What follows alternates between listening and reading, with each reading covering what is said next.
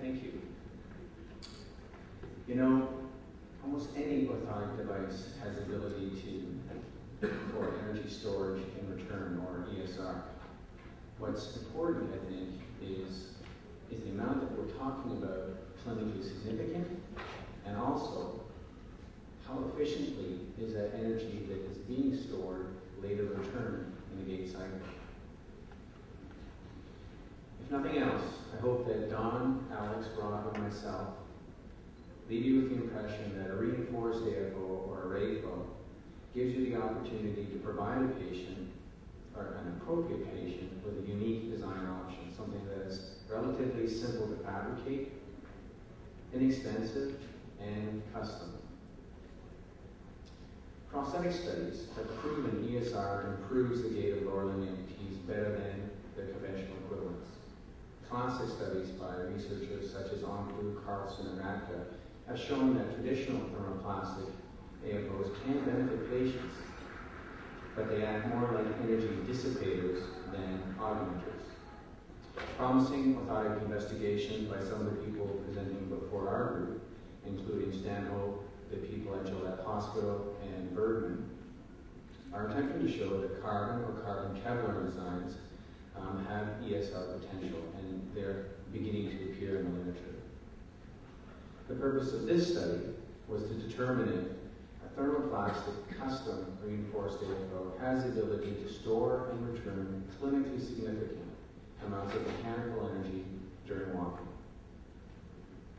A single patient was selected for the study, uh, she, and she was purposely chosen because of her largely flail ankles and decent ranges, and that she was otherwise unremarkable. Diagnosis was a Guillain-Barré. The subject was compared to two similar female normals. Her former AFOs were worn for three years without any complaints other than for worn Velcro, and her current AFOs had been worn for one year at the time of data collection, and the reinforcements were half inch over a choline uh, 3 inch shell. And as mentioned earlier, so it makes it easier for me now, it's important to measure the stiffness of a brace if you're going to try and compare one design to another.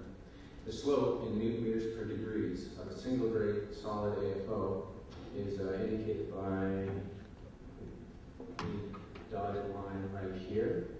And the stiffness of uh, our control single grade solid AFO was comparable to three other independent studies. It's important to note that the reinforced AFOs were considerably stiffer and more linear than the single grade solid AFO in uh, plantar flexion as well as dorsiflexion, which was also uh, an earlier question. The current AFO, the one that the patient is wearing, is uh, five times as stiff in dorsiflexion than the single grade solid AFO. And a very stiff prototype indicated by the solid black line um, a stiff prototype RAFO measured 12 times as stiff. The nearly horizontal line here represents the uh, uh, spring former AFO that the patient was wearing. Um, please note that the gait profiles of the single grade solid AFO and the very stiff RAFO will not be presented here. Slope or stiffness can be expressed as a number, and I'd like you to uh, notice how much more flexible the former AFO was compared to the RAFOs. And also notice how much more flexible the single drape AFO was in dorsiflexion due to, uh, due to buckling, which was Ardeen mentioned earlier. The significance of this will be discussed later. Trials were averaged for the patient walking at a self-selected pace, and the data was collected at Brock University Gait Lab. And without their support, the study would not have been possible.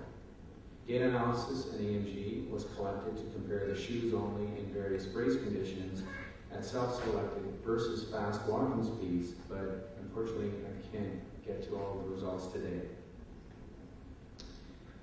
Moving on to the results. The average temporal parameters we found that there was very little difference between the shoes only and former AFO condition.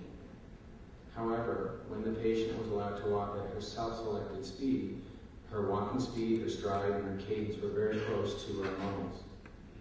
Improved temporal parameters at a self-selected walking speed is indicative of the RAFO's ability to enhance the patient's walking.